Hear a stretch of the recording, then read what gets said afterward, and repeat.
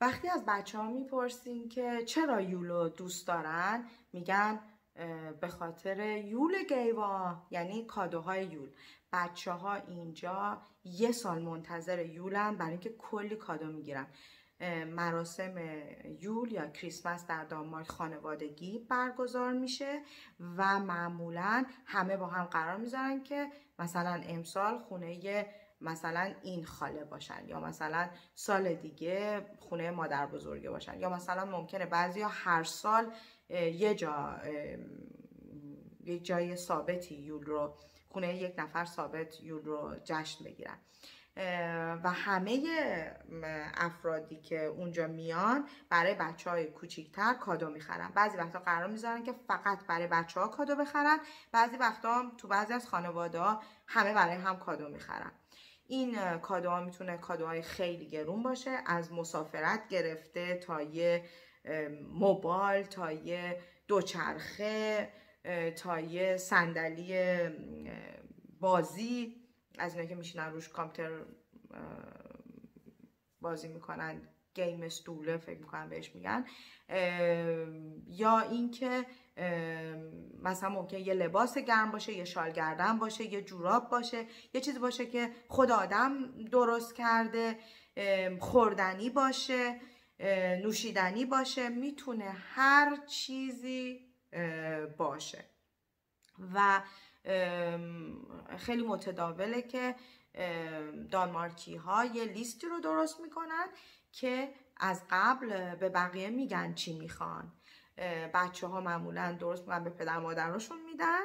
حالا خیلی وقتا هم همه اون چیزای اون لیست رو پدر مادر نمی‌خرن ولی معمولا بچه ها چند تا کادو می‌گیرن. ما وقتی اومدیم دانمارک هیچ کس رو نمیشناختیم دوستی نداشتیم خانواده ای نداشتیم ولی ارتباطات زیادی رو با همسایه ها شروع کردیم و کم کم دوست پیدا کردیم. و به خاطر ارتباطاتمون تونستیم برای بچهمون یه شرایطی رو مهیا کنیم که احساس کنه که اونم خانواده داره و بقیه به فکرشن. یعنی اولین سال که ما یول رو در دانمارک جشن گرفتیم کلی کادو رسیده بود به دستمون از دوستایی که توی دانمارک پیدا کرده بودیم. اگر شما سر کار میرین حتما یول گیوه می‌گیرین که توی سری از شرکت ها به شکل خوراکی و نوشیدنی و چیزایی که آدم تو دوره های یول می‌خوره و مینوشه از شراب گرفته تا آب جو تا یه سری مثلا بادومایی که دانمارکیا برای این فصلا آماده می‌کنن. یا شکلات بهتون میدن یا اینکه بهتون یه جعبه میدن مثل اینی که من گرفتم سر کارم. توش یه چند تا دونه شکلات هست و چیزای خوردنی هست. در کنارش یه کارت هم هست که این کارت هدیه است که من میرم توی یه سایتی. کلی چیز اونجا هست. از بینشون چیزی که خودم دوست دارم. انتخاب می‌کنم. خیلی برای دانمارکی ها این قضیه مهمه که کادویی که می‌گیرن اون چیزی باشه که می‌خوان. برای همین اگر آدم از یه جایی کادو, کادو می‌خره توی دانمارک هر جایی وقتی که می‌پرسه ازتون که کادو هست یا براتون کادو کنم قبلش هم روش براتون روی قیمت رو میپوشونه و یک برچسبی روش می‌زنه یا یک کاغذی میچسبونه که مشخص میشه که این کادو تا مثلا 6 ماه بعضی وقتا یک سال قابل تعویزه یعنی طرف می‌تونه اگه نخواد بره توی شعبه های مختلف اون فروشگاهی که شما ازش کادو رو خریدین و کادو رو تعویز کنه. شما می‌تونین برای دوستاتون نزدیکاتون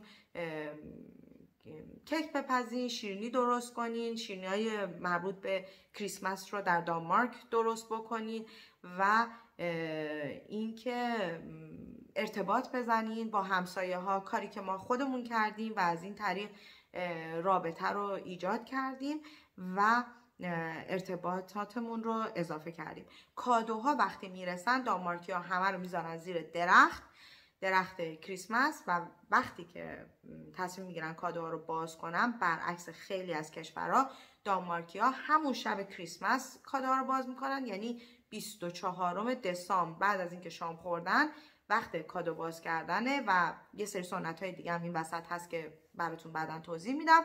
اما معمولا کوچکترین فرد خانواده باید بره یکی یکی کادوها رو از زیر درخت می‌کشه بیرون و اون کادویی که مال هر کسی هست رو بهش میده و یهو میشه تمام سالن میشه پر از کاغذ کادو و همه دارن یکی یکی کادوهاشون رو باز می‌کنن. خیلی صحنه جالبیه و واقعا من درک می‌کنم چرا بچه ها عاشق این بخش یول هستن